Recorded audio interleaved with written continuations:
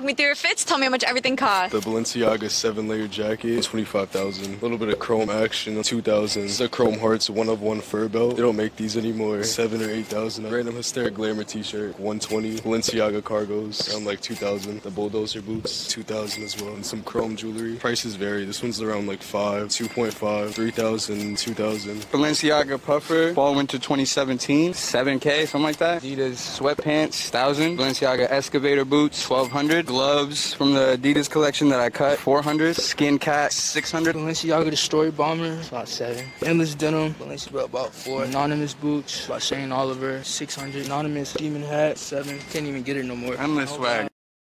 no fashion sense whatsoever. Y'all just go to the Balenciaga store and point at the mannequin and say, I want that. Good thing you didn't grow up how I grew up. Well, dude would have robbed you for a $200 starter jacket. Same dudes who'd have been eating for months off of you.